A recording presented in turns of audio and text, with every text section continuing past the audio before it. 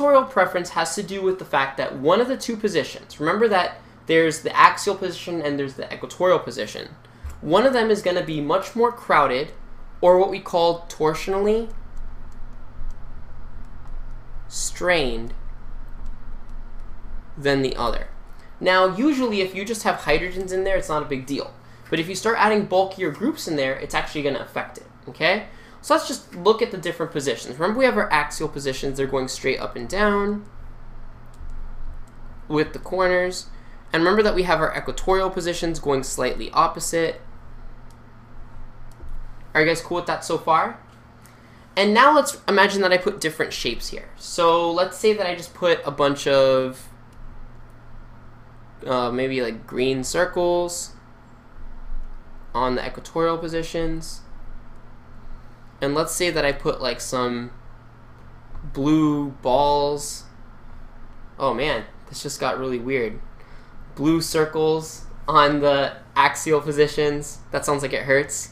So um, we've got these these ones on the positions, and I just want to analyze the ones at the top. Let's just say that we look at this blue circle, this blue circle, and this blue circle versus this um, green circle, this green circle, and this green circle. Are you guys following so far? In fact, let's go ahead.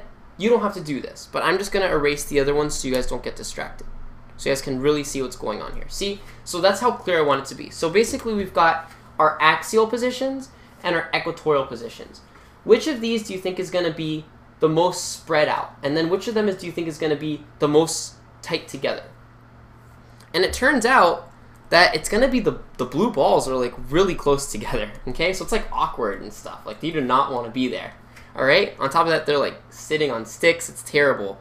So whereas the equatorial positions, they've got all this like room to spread out. It's awesome. Look how far apart they are, okay? In fact, if you want to think about the equatorial position, it kind of looks like it's the equator of the Earth. If this was like a big globe, the equatorial positions would be like on the equator, the axial positions would be like on the North Pole, all right?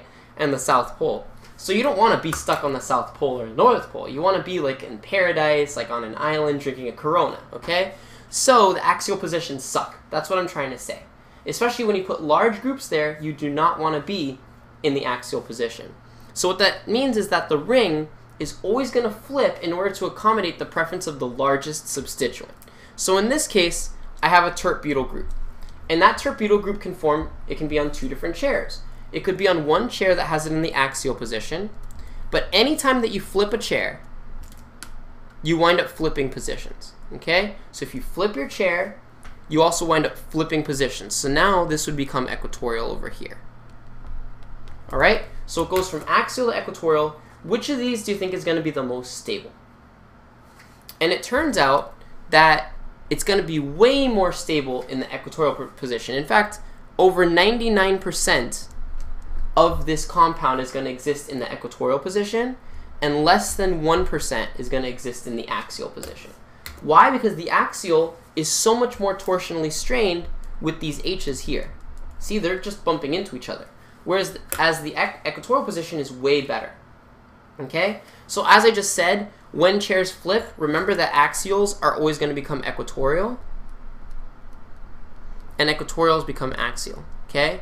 So anytime you flip, you're going to be giving something in the axial position an opportunity to become equatorial. But you also have to change the shape of the chair as well.